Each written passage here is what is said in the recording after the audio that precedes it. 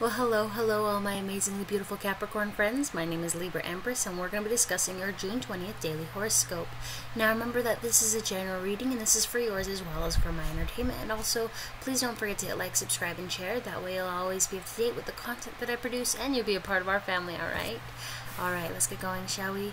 Now, my beautiful Capricorns, a friend you used to see with some regularity seems to have dropped off the face of the earth, and you miss them.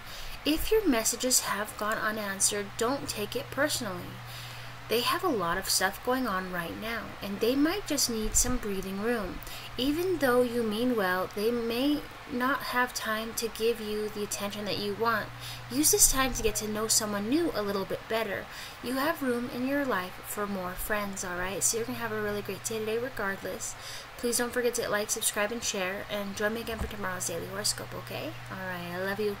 Bye, my beautiful Capricorn.